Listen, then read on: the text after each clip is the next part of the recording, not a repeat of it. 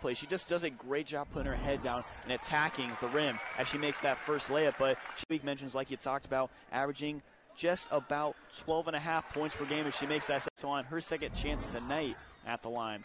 But no, you hit on exactly, Matt. Ohio State's down some. Jacy Sheldon still aiding an injury as well, but you said it, it's a next man up mentality here for Kevin McGuff's squad. And in a game where they're trailing by eight points, attacking the rim is never a bad play. McMahon came into the game.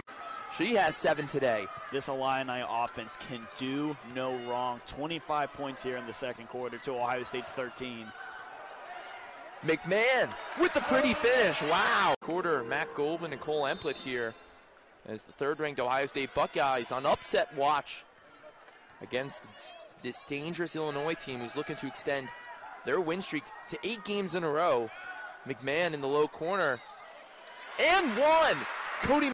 It's the reason why she's going to the free throw on the third time tonight, doing a great job as she makes that free throw. Needs quick offensive points and get back on the defensive end, cause a turnover. They're down 14 here, but little momentum here and there is a long way to go in this game.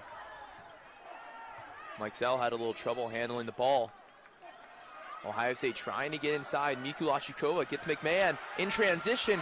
What a pass and what a finish. McMahon coming and now Ohio State bringing that full court pressure. And Ohio State's Mikesell gets the turnover and the steal. And you can hear the crowd, ladies and gentlemen. Here comes Ohio State McMahon in the corner. The spin move. And the finish. Buckeyes on. For her excuse me, she will now go to the free throw line for her eighth and ninth attempt of the night. Just speaks to the grads. 115 remaining in this quarter, and we have ourselves. They couldn't buy a bucket, and now tied ball game coming down to the last minute here in this quarter. Rikki Harris controls the possession for Ohio State. As the traffic around for the Buckeyes. McMahon, the seal pass from Mikulasikova. It's good. Buckeye 18 points to her name.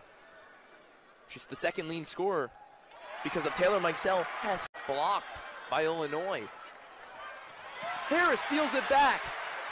And now Ohio State gets a pretty clean shot clock, but McMahon says otherwise. I want to go take two. 21 points, four rebounds, four assists to her name.